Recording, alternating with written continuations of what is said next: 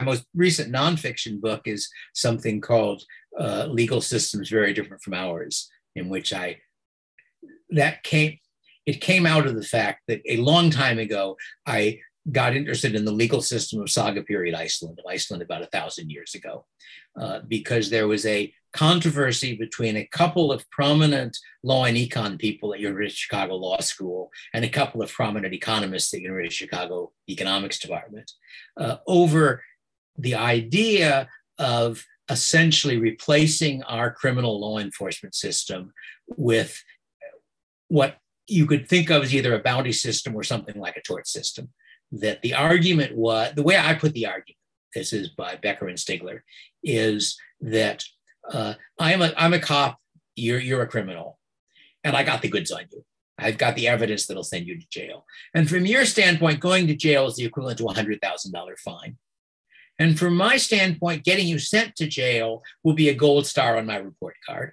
And it'll raise my lifetime income by $10,000 because I'll be a slightly better cop. Well, we know from Dragnet what happens. I take the evidence to the prosecutor, you go to jail. We know from economics what happens. Markets exist to move assets to their highest valued use. And the evidence to get you convicted is worth $10,000 to me and $100,000 to you. So you buy it from me for $50,000 doesn't work very well. So the system is not incentive compatible.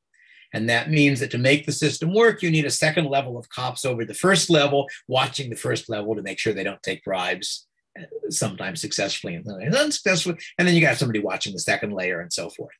And so what Becker and Stigler said was, how about instead we don't pay the cop a, a salary?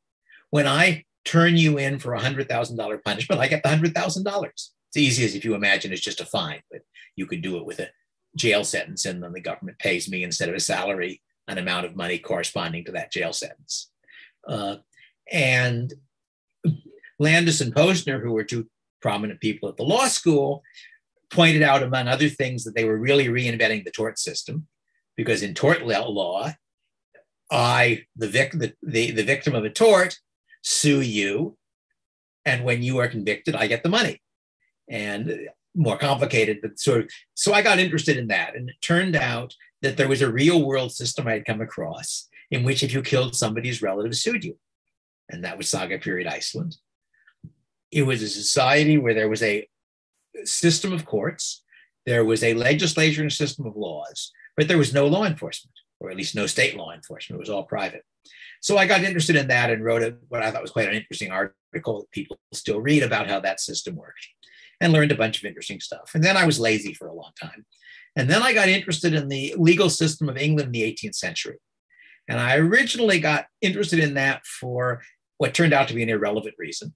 And the reason is that Becker had an old article in which he had argued that it looked as though, suppose I'm the punishment for some crime is that we catch half the criminals and we fine them a $1,000. Well, Becker said, we could get just as much deterrence if we caught a quarter of the criminals and fined them $2,000, or an eighth and fined them $4,000. Well, doesn't that imply that the ideal system has an infinite punishment at infinitesimal probability? You keep on making it less likely and higher. And he tried to had an answer that I think was the wrong answer in my view to why that wasn't the case. But it occurred to me that there was a legal system I'd heard about that looked as though it did that because the 18th century criminal law system was what was referred to as the bloody code, because essentially all serious offenses were capital. So I got interested in that. Now, it turned out it wasn't true that all serious offenses were capital on paper. But if you looked at really what really happened, it turned out that if you were charged with one of those capital offenses, your chance of actually hanging was about one in eight. And if you're if you were convicted, your chance was maybe 40% so that in fact on paper it was all capital, but actually other things happened. So I got intrigued in how that system worked. But it turned out that what was interesting about the system was the system of privately enforced criminal law, because England did not have police until the 19th century. And that what happened in that system was that if somebody stole your horse, it was up to you to find guy who stole the horse, to bring the evidence to court, to get him convicted. And unlike a tort case, you didn't collect any money. So why did anybody bother? So that was an interesting puzzle. And so I ended up writing what I thought was a very interesting article trying to make sense of that system. And then I was lazy again for a long time. And then it occurred to me that both of these articles had really been fun and I'd learned a lot of neat stuff from them. So I ought to do more of that. And then the problem is, how do I commit myself to do work? So the answer is that I announced that I was teaching a seminar the next year in the law school on legal systems very different from ours. I had two already, and now I had to research a bunch more. So I taught that seminar every other year for, I don't know, 10 or 12 years, and then used the material I'd put together for that to turn into a book. Uh, and that was fun.